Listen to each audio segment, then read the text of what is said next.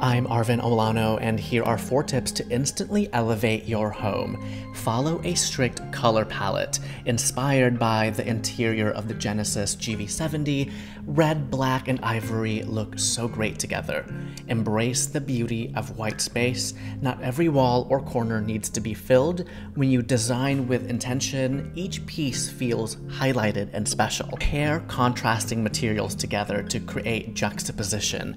This mix of materials materiality is visually appealing to the eye, similar to the dynamic interior of the GV70, where you see contrast stitching, chrome, and leather. Lastly, embrace the unexpected, just like the GV70 surprised me with its carefully placed details and tech. Create a sense of luxury by rearranging your furniture in a new and unexpected way.